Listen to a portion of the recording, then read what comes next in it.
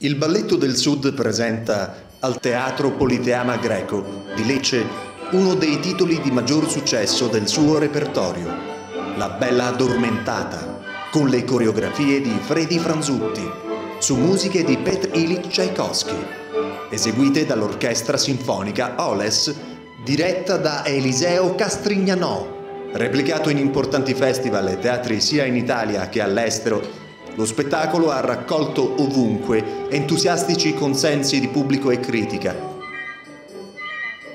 Danzano i ruoli principali la giovane ballerina giapponese Minami Shiota, Alexander Yakovlev, Nuria Salado Fustè, Andrea Sirianni, Alessandro De Ceglia e Federica Resta.